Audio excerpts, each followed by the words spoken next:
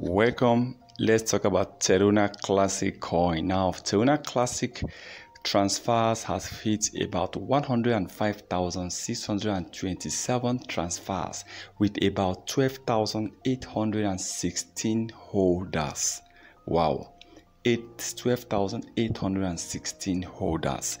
Now, Terra Luna Classic, one thing I love, I mean, one important thing I love about Terra Luna Classic is that when you take a look at the top 10 holders of Terra Luna Classic, they are not holding at least 90% of Terra Luna Classic, just like other crypto coins, where you will see the top three holding 80% or 90% of such coin.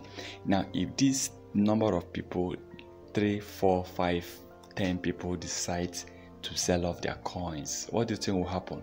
That coin will crash and a lot of people will lost their money, their investments. Okay, now there's so many crypto coins that are scammed. Okay, what they do is to bring out these coins, they will promote it. Then when people start buying, people start investing on such coin, then the founders, the developers, the top holders will do what? When the coin increases in price they will sell off all their coins. And that coin will eventually crash that is why i don't really love investing on coins that just 10% the 10% holders are holding over 90 or 98% of such coins. Now i love Terra Luna classic because more than 80% or 90% are in the hands of the majority the masses okay it's difficult for you to see a single person holding 5% of Terra Luna Classic. I think the highest holder is holding about 3.1%, which is about doing a swap, okay? But if you can see where five people are holding 70%, it's not really good for such coin. So Barcelona Classic now holders hitting 12,816 holders.